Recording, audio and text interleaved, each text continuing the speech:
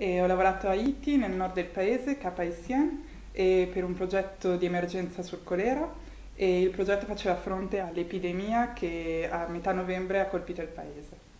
Il progetto era organizzato con dei centri di trattamento del colera situati nella città di Cap Haitien e delle cliniche mobili che cercavano di raggiungere i paesi confinanti eh, la città.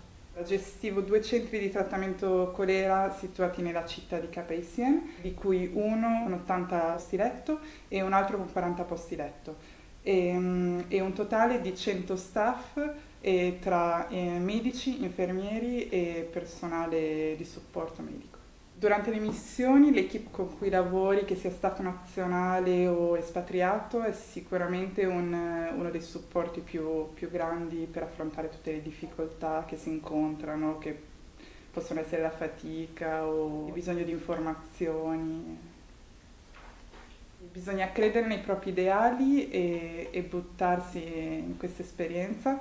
E una volta un capo missione mi disse che Medici Senza Frontiere rimane uno dei pochi posti e in cui poter vivere ancora i propri ideali e io credo che sia proprio così.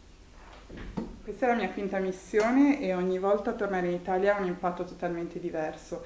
Poco a poco si impara a, non, ehm, a, a partire ma anche a tornare e senza aspettarsi che gli altri capiscano pienamente quello che si è vissuto, ma quello che bisogna salvaguardare è sempre la voglia di condividere perché magari cap- le persone non capiranno tutto ma continueranno a condividerle.